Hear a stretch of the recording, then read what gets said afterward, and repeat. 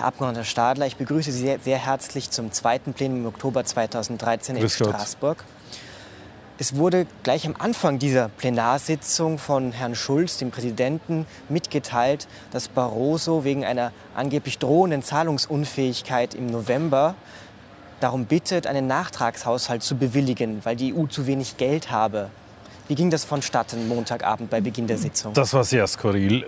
Das heißt, der Herr Präsident Schulz hat berichtet, der Herr Kommissionspräsident Barroso hätte ihn in der Früh um halb acht angerufen und ihm gesagt, bitte macht's die Woche schnell äh, was, weil wir haben sonst in 14 Tagen kein Geld mehr.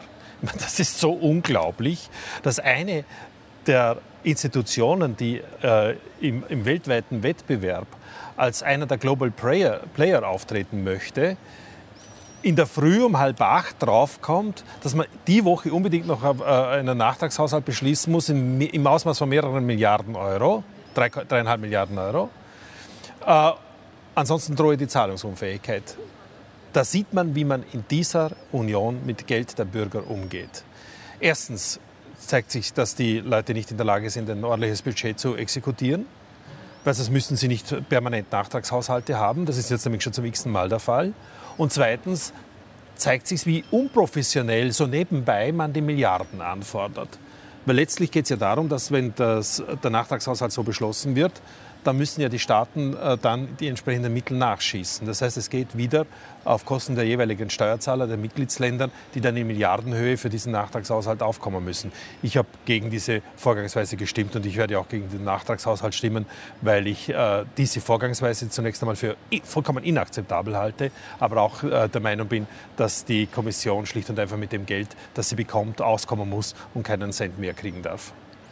Nun könnte man ja unterstellen, dass die Kommission sehr wohl rechnen kann, wie viel sie noch hat und wie viel sie noch ausgeben kann. Und jetzt spielt sie aber trotzdem dieses Spiel mit dem Parlament. Äh, Herr Schulz hat ja durchblicken lassen, dass er das eigentlich nicht duldet, eine solche kurzfristige Inform- Informierung und quasi Erpressung eines solchen Beschlusses. Warum machen die Abgeordneten trotzdem mit bei diesem Spiel? Na, weil sie am Gängelband der, der Kommission geführt werden und der, äh, und der europäischen Institutionen. Sie sind so sehr in ihrer ganzen pseudoreligiösen Europismusgesinnung verhaftet, dass sie es gar nicht sich leisten können, einmal es darauf ankommen zu lassen.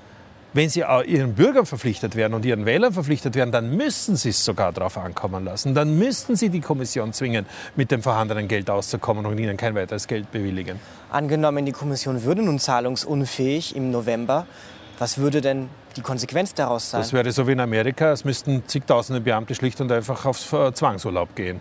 Würde denen vielleicht einmal ganz gut tun, denn die sind nicht so schlecht bestallt. Ja? Das heißt also, denen würde mal es vielleicht wieder ganz gut äh, tun, das Gefühl für Arbeitslosigkeit zu bekommen. Nämlich jenes Gefühl, dass mehr als die Hälfte der Jugendlichen in äh, den Ländern der Olivenstaaten, in Griechenland, in Spanien, in Italien haben. Äh, und jenes Gefühl, dass über 20 Prozent der äh, Bevölkerung im Durchschnitt in Europa hat, nämlich keinen Job zu haben. Das würde denen vielleicht einmal ganz gut tun. Der mehrjährige Finanzrahmen wurde jetzt noch mal weiterhin verschoben. Die Ha- Position, die Verhandlungsposition des Parlaments, ist die nun wirklich so stark wie immer behauptet von den Ab oder gerne gesehen von Abgeordneten? Überhaupt nicht.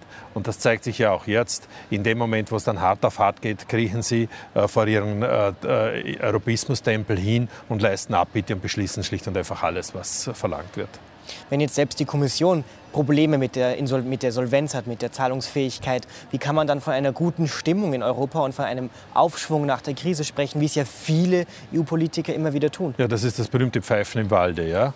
Äh, wenn man sich fürchtet, dann pfeift man laut im dunklen Wald, damit man sich selber Mut macht. Und das ist genau das Gleiche. Sie wissen ganz genau, dass sie keiner, keinen einzigen Aspekt der Krise geregelt haben. Sie haben die Finanzkrise bis heute nicht im Griff. Sie haben die ganzen großen Krisen der letzten Jahre nur äh, verschoben. Sie sind alle nur vertagt worden und das mit Milliardenaufwand gelöst ist gar nichts.